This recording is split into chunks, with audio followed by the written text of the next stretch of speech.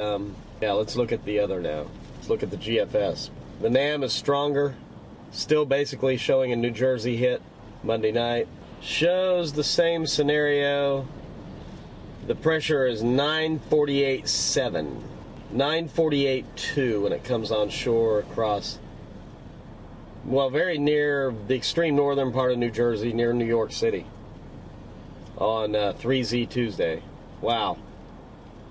And the very tightly packed isobars extend to the west all the way into Indiana, to the south all the way into North Florida, to the north all the way up into way up into Canada. Massive storm. Massive storm system.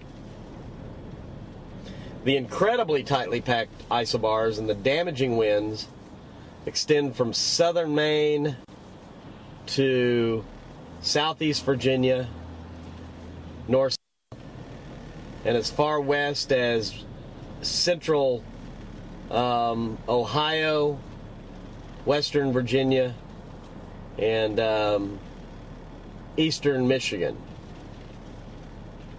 on the west side. That's at 3Z Tuesday when this thing comes ashore. Just a large area of damaging winds, folks. This is pretty scary still.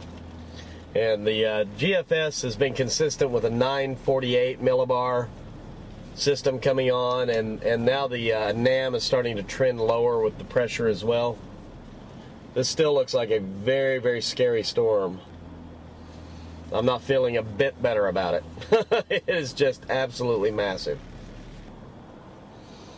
Uh, I was talking about that with Aaron earlier, and we're thinking five to ten feet conservatively on the surge.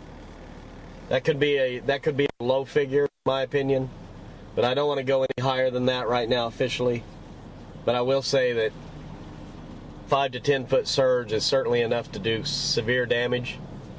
There was about a ten foot, five to ten foot surge on Hatteras Village for, during um, Isabel, and it wiped out everything on the coast. So um, that's pretty significant. I'd be a little concerned. I wouldn't be on Long Island at all. I would get off the island tomorrow at the latest. I'd probably been getting off the island today, but tomorrow, for sure, I'd be getting the heck off that island. Nobody needs to be on Long Island during this thing. Yeah, this this surge, the way it looks, is, is tailor made for you know for flooding Lower Manhattan.